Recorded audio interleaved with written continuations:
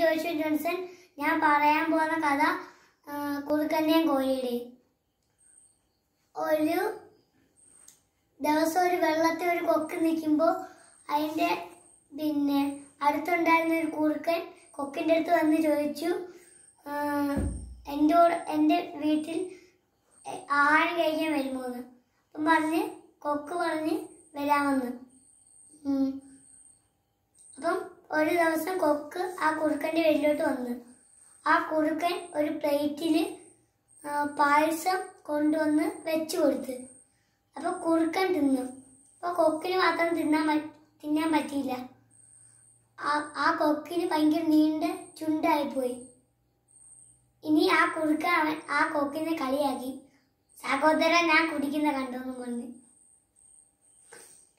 ആ, ആ, അപ്പൊ കൊക്ക് പറഞ്ഞ് ആ, കു- പിന്നെ കുറുക്കന്റെ അടുത്ത് എന്റെ വീട്ടിലോട്ട് ഒരു ദിവസം വരാമെന്ന് അപ്പം കുറുക്ക ഒരു ദിവസം കൊക്കന്റെ വീട്ടിലോട്ട് വന്ന്.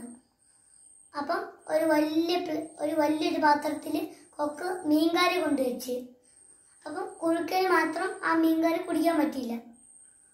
കൊക്കിന് കൊക്കിന് കുടിക്കാൻ പറ്റി. അപ്പം കുറുക്കൻ വിശന്ന് പിന്നെ കുറുക്കന്റെ വീട്ടിലോട്ട് പോയി. Thank you.